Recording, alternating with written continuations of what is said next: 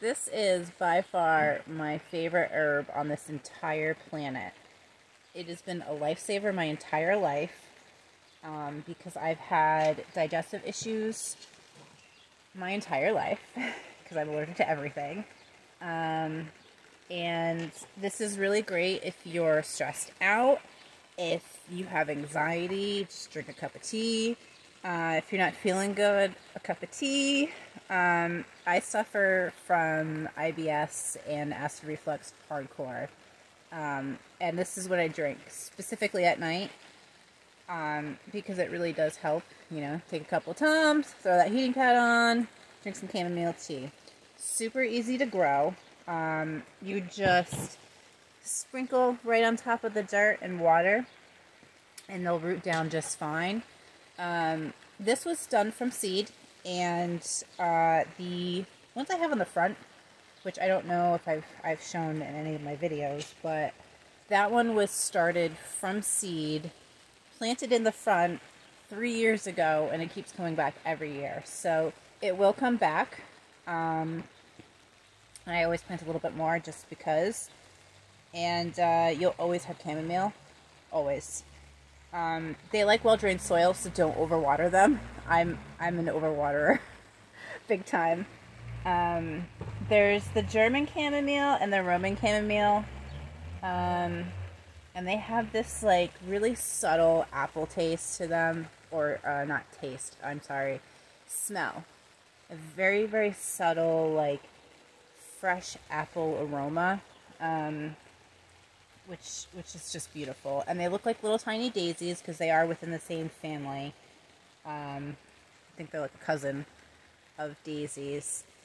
And they have another cousin, which is wild chamomile, which looks like pineapple. So like the tip of it, I don't have a chamomile flower. The tip of it looks like like a cone, and then it has like the little white flowers. When you smash it up, it smells like pineapple, and that is edible as well. So if you're out and about and you're like, man, I'm not feeling so good, but I got this hot water, or I can make some hot water, but I have no tea, and you know, you can do that as well.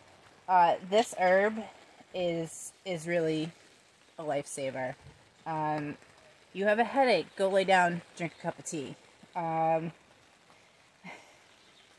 I I laugh because it used to be mint tea and toast for me, and mint tea is another one of my favorite because it's really good for um, digestive issues as well. Um, if you're bloated, if you have gas, um, if you like a little spring in your step, I feel like the mint just kind of, you know. Um, mint tea and toast, chamomile and toast, um, or crackers because, you know, digestive issues and whatnot.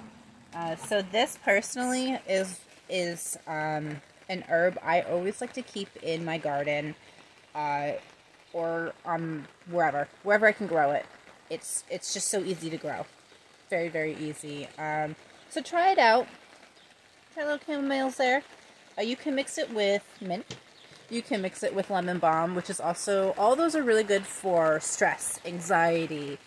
Uh, you know, if you're feeling tired, it's not going to give you energy, but it's, it's going to relax you. Um, for sleep. Um, lemon balm, mint, chamomile, lavender. I, I love to mix all those together. Sometimes I'll do like just chamomile and mint, uh, just lavender and chamomile. That I think is my all-time favorite mixture. Um, lavender is actually fairly easy to grow now for me. Now that I figured out the secret. Um, so I, I love like the fresh lavender mixed with the fresh chamomile. Um, and chamomile is really easy to harvest too. You just pop off the top of the flower, like you just pinch it right off, and it'll just keep growing and growing and growing. Um, and if you do have it a good environment like this lovely little tunnel over here, you could probably keep it growing for a while. Um, indoors is a little tough. I'm not quite master of the indoor stuff yet. Um, but I think that's because I don't harden off my plants enough. Which means when you harden things off, is you put them out for the day and then you bring them back in and leave them out a little bit longer the next day, bring them back in. So they kind of get used to the weather. Um, but in here, it's a little bit more controlled. Except for I got bugs. So, I don't think they'll eat the chamomile. But you don't need to water it a lot, but don't don't underwater it. Never underwater it because it, it will die. It sits right on the surface and it grows fluffy and big and and and it really just is a wonderful herb. So if you ever get a chance to grow it and try it that way, go for it. I highly suggest it. Like I'm probably gonna go have another cup soon. I have at least three cups a day.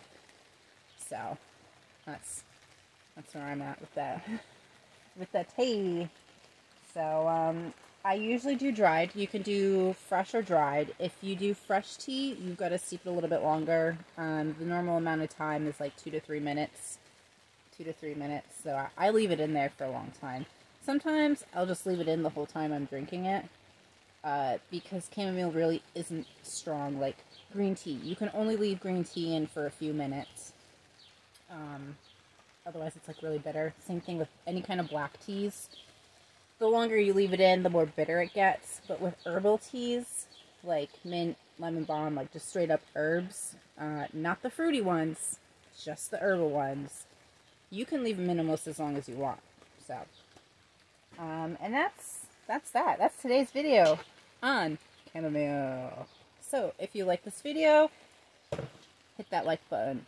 Share with your friends, share with strangers, talk about it, have a conversation. Hit that subscribe button, and I'll see you later. Have a good weekend.